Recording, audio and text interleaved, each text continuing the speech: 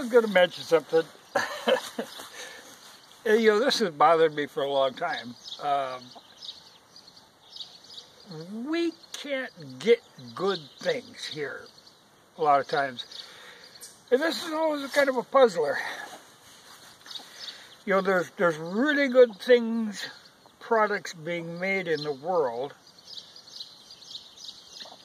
that we can't get our hands on, or it's very difficult or very expensive. But the garbage that comes out of China, oh man, no problem. you know, uh, it was brought to mind today again. I was going down this Swedish rabbit hole. In the comments about the cookware stuff, uh, somebody had mentioned the frying pan, a Hunter's steel frying pan from Edvardsson, Edvardsson in Sweden. So I thought, well, I'll look this up and see what's available. And uh, perhaps not exactly what I want for, for this set I'm making, but just as a good all-purpose uh, living off the land kind of frying pan, this was a great thing. Um, uh, terrific but uh, you're you're dealing with Sweden. This isn't just uh, limited to Sweden. I run into the same thing in anything from from Britain or from like Germany. Uh, a lot of times I run into this with motorcycle parts all the time. Somebody will have a part that I want, but it's in a country that the shipping is going to kill it. And that's what is the problem here. The, these pans, you know, it's a nice high carbon steel folding handle frying pan, which is really a great thing and this design has been around since the medieval days, you know, it's a, a very practical design. So, yeah, I thought, eh, not bad. Why, okay. It's like 400 kroner, which is like 35 $40. That's acceptable for what it is. Not a bad price.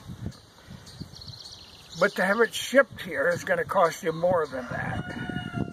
Know, like we can get stuff shipped from China for free. You know, uh, it's silly a lot of times. But for some reason, those European countries, if we try to ship something from there, it's just cost prohibitive. And now this is the kind of thing that our State Department is actually there for, to promote trade. But we don't do that. You know, we like we have special trade with China, but with, with our allies in Europe, we don't. So, and I don't know why, you know, you'd think somebody would, in this country, would go ahead and, you know, buy a, a bunch of that and, and be able to resell it because there's a demand for it. Um, like this little simple frying pan, has great reviews. A lot of people really like them. It's kind of ideal for a certain situation. But if you try to look for them here, even on your Amazon, though you can get a, I think the Amazon in Germany has them, but there again you're stuck with the same shipping problems. And that's actually from a different company, but it's very similar. You know, they're not fancy. Um, there's no reason they can't be made.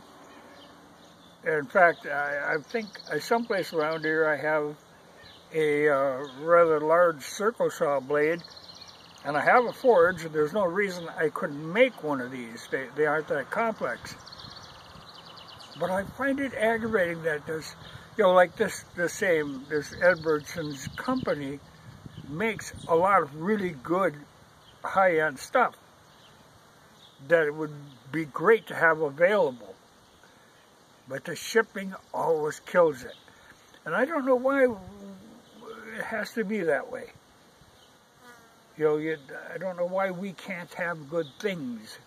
Why we can't be, be able, you know, if there's somebody making something,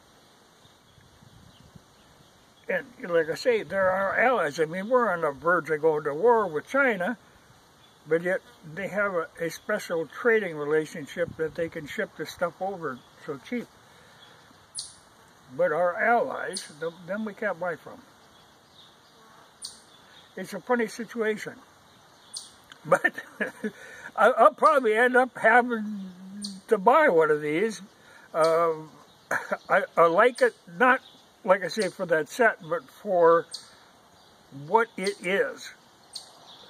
A great little portable frying pan without some non-stick nonsense going on because everything you look, if, if you look here for that sort of thing, it's going to have some of that on it. You know, that's just the way it works. you know, it's a funny thing. But like I say, I run into this all the time where there are very good products being made, uh, many of them made by hand by craftsmen who know what they're doing, but then we can't buy. We can't have good things. But it's a shame, you know, you should, that kind of trade should be promoted. But it's actually even very hard to find that stuff. It's out there. You know, like I say, them, uh, the wool socks that I got that are out of Canada, you don't run into them in stores. Why? I don't know. You know, they're a fantastic sock.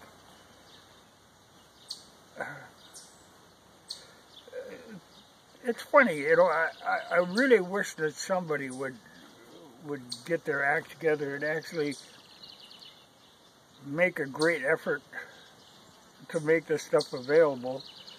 You know, I, I, I, a lot of times I hear from people about that Lehman's store uh, it always aggravates me a little because they're kind of doing that. They're kind of getting the good stuff together, the stuff that's hard to find, and reselling it.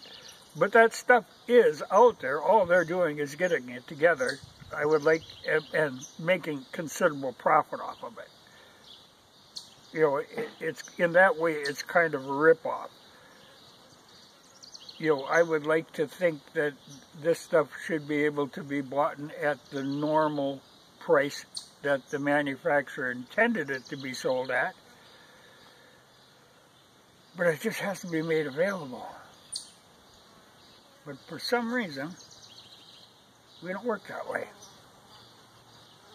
So you search, uh, you know, it, but I spent, God, probably close to two hours digging around through this, trying to find a way of doing this cleanly, and you really can't. Uh, no matter how you look at it, it's going to cost you a lot of money. You're going to end up paying like over a hundred dollars uh, to get a frying pan, a small frying pan. Know, like I say, when it gets up there, you know, and there are people in this country who kind of are making knockoffs of it for the the rendezvous crews, you know. But I would actually like to buy from the people who originally made them. You know, I don't want the knockoff version. I mean, if I want that, I can build one myself. You know, and I, I might end up doing that. Uh, but that is, there's a, it's an odd state of affairs that I, I don't really see the answer to, but I don't know why, well, like I say, it really goes back to, like, our State Department. You know, you should be encouraging commerce. And that, that isn't very encouraging. I don't know. Uh, I'll have to poke around on this some more. But like I say, there's a good chance I'll end up having to make one. of that design because it's not a, a particularly complicated design, but it, it, has to be done right. But I, I have the ability to do it. But I just think that these kind of things, you know, the really good stuff should be commonly available, not the cheap crap that we are trying to be sold all the time. Well, see what, you know, but the guy was right. I mean, he said, you know, Primus for the pots, yeah, okay, I can see that. You know, Primus has been around a long time and they do things right. This company I hadn't heard of before, but they're doing this right. They're doing a lot of stuff right. But a lot of these, the products that the Swedes or any of the Scandinavian countries that they make, they're really top-notch products made for real world conditions, you know, I'd like to see them more available.